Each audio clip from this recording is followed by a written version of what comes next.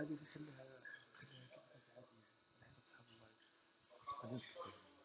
هو راه يصور عند من البيسي يسوى من البيسي آه يصور البيسي خليها على هادي صحاب اللايف باش في التمثيل دير لها دير لها ايكون ولا عادي هذا هو كان ماكش امبان لي هذا. هذا السيبريمي هذيك شوف ما فيش ستوندار درت ستوندار ما غاديش يدير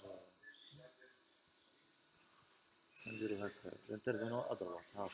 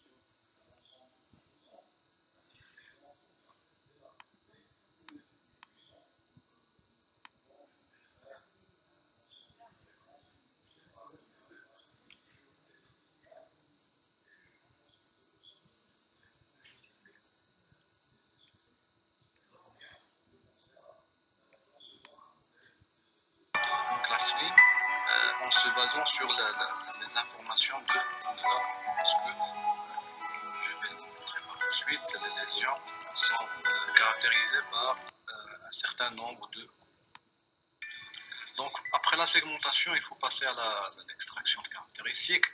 Euh, donc, euh, l'extraction de caractéristiques, la question qui se pose, quelle caractéristique je vais utiliser, quelle caractéristique est la plus pertinente, ainsi de suite. Est-ce qu'il n'y a pas de corrélation?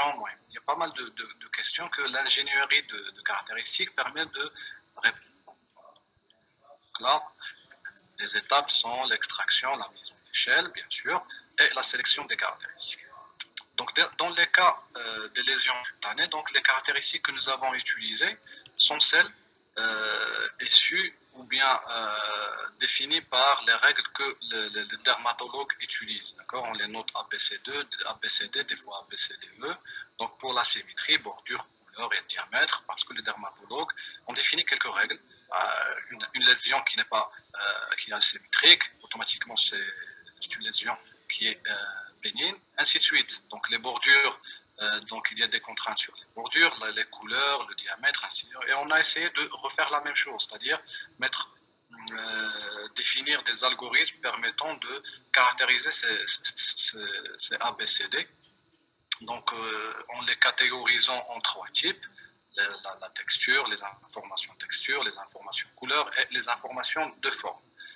Euh, nous avons réutilisé des caractéristiques déjà utilisées texte et aussi nous avons proposé de nouvelles caractéristiques à base de, la squelettisation où nous avons pensé à, euh, c'est-à-dire après segmentation, faire une squelettisation de la lésion et extraire quelques informations du squelette de chaque lésion, à savoir les nombres de points terminaux, ainsi de suite. Donc, on a pu euh, ajouter neuf nouvelles caractéristiques à l'ensemble des caractéristiques déjà utilisées. La question qui se pose, est-ce que vraiment ces caractéristiques que nous avons proposées, est-ce qu'elles sont pertinentes? Est-ce qu'elles ont un impact sur le résultat de classification? Donc, euh, ainsi, donc, euh, une fois après la collecte, bien l'extraction de caractéristiques, on a pu donc 828 caractéristiques, qui est un nombre très élevé, et certainement qui va nuire à, euh, au temps de classification, au résultat de classification. C'est pourquoi toutes les questions euh, posées par un, quelqu'un qui travaille dans le domaine, c'est est-ce que les caractéristiques sont pertinentes, est-ce qu'il n'y a pas de doublons, est-ce qu'elles ne sont pas corrélées, ainsi de suite.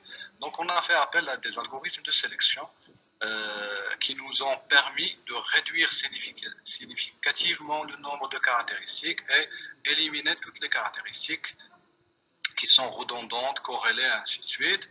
Euh, dans cet exemple, donc pour les tests, on a utilisé le SVM comme algorithme de sélection. Donc là, vous voyez bien que euh, l'algorithme relief, parmi d'autres, donc euh, qui 2, ainsi de suite, nous a permis de réduire le nombre de caractéristiques de 34 828 vers 6 euh, caractéristiques, c'est-à-dire qu'entre ce nombre élevé, seulement les 6 caractéristiques sont pertinentes. Et parmi ces 6 caractéristiques, nous retrouvons 4 caractéristiques qui sont euh, celles euh, extraites de, de, la squelettisation. D'accord? Donc en comparaison, donc là, on travaille comme j'ai dit, donc on a deux bases d'images. Donc le ISIC, la ISIC, la base ISIC de challenge qui est une grande base, la PH2 qui est une petite base. Et dans l'apprentissage automatique, euh, nous essayons de tester sur le PH2. Par la suite, on va euh, proposer un modèle qui permet de, qui est robuste pour les deux, euh, en fusionnant le machine learning et le deep learning. Donc, pour améliorer encore le taux de classification, il est nécessaire de chercher d'autres caractéristiques.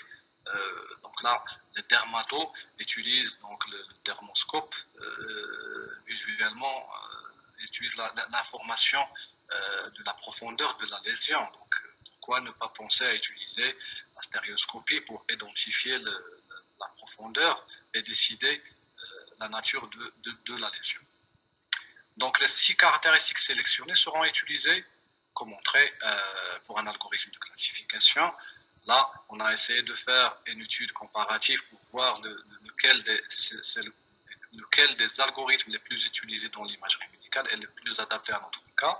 Donc bien sûr, le SVM avec son noyau quadratique nous a permis la meilleure précision de classification.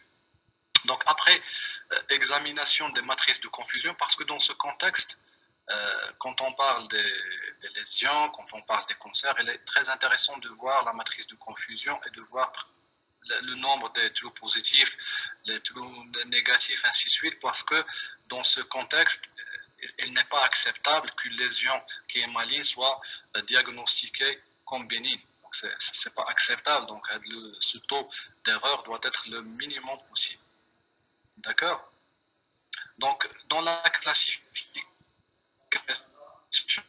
euh, en général, euh, nous avons pensé à faire un, apprentissage ensembliste, c'est-à-dire nous avons remarqué que les algorithmes de classification sont complémentaires. Donc, euh, par exemple, il y a des, lésions qui sont mal classées par SVM, mais correctement classées par le, KNN, ainsi de suite. D'accord? C'est pourquoi nous avons pensé à faire appel à un apprentissage ensembliste, utilisant, nous, nous avons utilisé un vote majoritaire, euh, d'accord, et nous l'avons comparé avec euh, algorithme Adapos, qui utilise le boosting.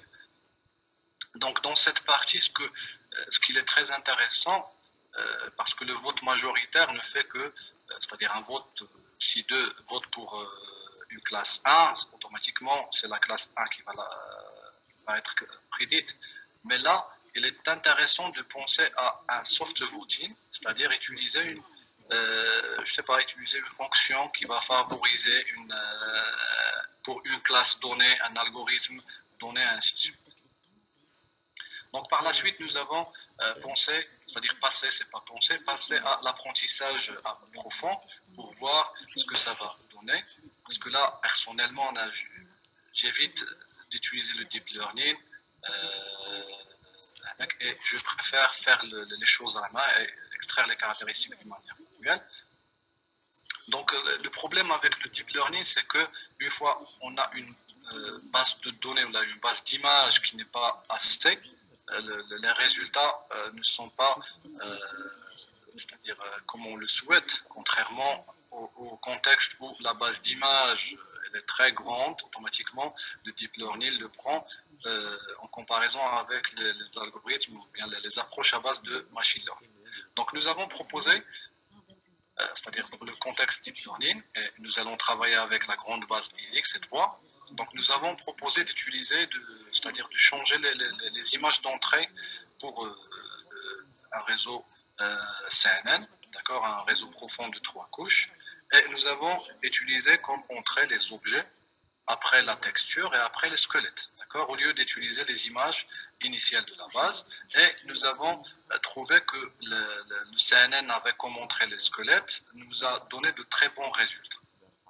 D'accord? Après, nous avons essayé de faire une comparaison entre le CNN et AlexNet VGG16 avec comme montré bien sûr les, squelettes et toujours le CNN. Euh, ceci est dû à la nature de des images parce qu'elles sont des images binaires qui ne contiennent pas trop d'informations. Donc le problème, comme j'ai dit avec le deep learning, c'est qu'il donne de mauvais taux de classification pour les petites bases, contrairement aux grandes bases, et vice-versa pour le, machine learning. C'est pourquoi nous avons proposé de fusionner, fusionner les caractéristiques dites artisanales, c'est-à-dire celles que nous avons extraites euh, utilisant donc les, algorithmes de traitement d'image, euh, obtenues dans un contexte d'apprentissage automatique avec celles obtenues par le biais de l'utilisation de quatre architectures de Deep Learning, AlexNet, VGNet, ResNet et NET. Donc, sachant qu'on peut, c'est-à-dire agrandir ce, c'est-à-dire euh, cette plage d'architecture de, Deep Learning. Euh, donc, de la fusion, l'objectif, c'est de proposer un modèle de classification qui soit applicable à la fois pour les petites et les grandes bases de données. D'accord euh, Nous avons premièrement pu extraire 4034 parce que nous n'avons pas utilisé l'ensemble des caractéristiques artisanales, plutôt nous avons pu, euh, c'est-à-dire utiliser les caractéristiques issues de, c'est-à-dire après sélection. Donc là, on remarque bien euh, que le nombre de caractéristiques est toujours élevé et toujours on pense à faire de l'ingénierie de caractéristiques. Cette fois, nous l'avons effectué avec les algorithmes et nous avons pu significativement réduire le nombre, toujours avec la présence des nouvelles caractéristiques à base des, des- des squelettes. Donc, euh. Oui, Il reste juste deux petites minutes. d'accord, je vais, je vais conclure. D'accord, donc euh, là, on voit les, les- les résultats appliqués sur euh, les deux bases, d'accord, les petites et les grandes bases d'images, à savoir que donc, pour la matrice de confusion, pour la base, surtout pour la base PH2, une seule euh, image ou bien une seule lésion a été mal classifiée en tant que non mélange.